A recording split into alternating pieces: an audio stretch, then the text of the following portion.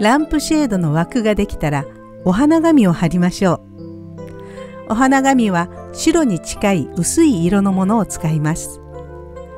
糊は木工用ボンドやでんぷん糊を筆で塗れるくらいに薄めて使いましょう。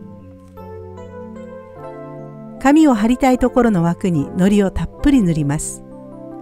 そこにお花紙をそっと乗せて枠につけた糊をなじませます。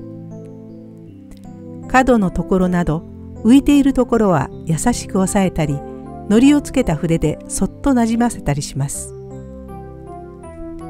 はみ出たお花紙をゆっくり引っ張ると枠に沿ってきれいにちぎり取ることができます。ちぎった紙を別のところに貼ったりちぎらないで上から別の紙を貼ったりして全体を覆っていきます。もし破れてしまっても大丈夫。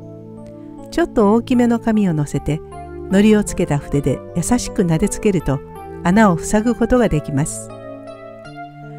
紙をちぎるとき手前に引っ張ると剥がれてしまうことがありますが焦らずゆっくり戻して反対方向に引っ張ってちぎりましょう。底になる部分はランプにかぶせるので開けておきます。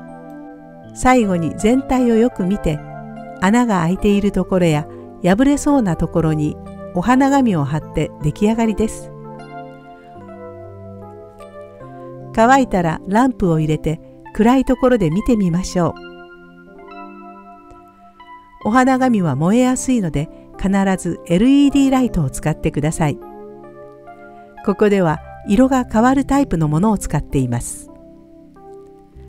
お花紙を切ったりちぎったりして貼り重ねると綺麗な模様が浮かび上がります。さらにイメージを膨らませて素敵なランプシェードを作ってみてください。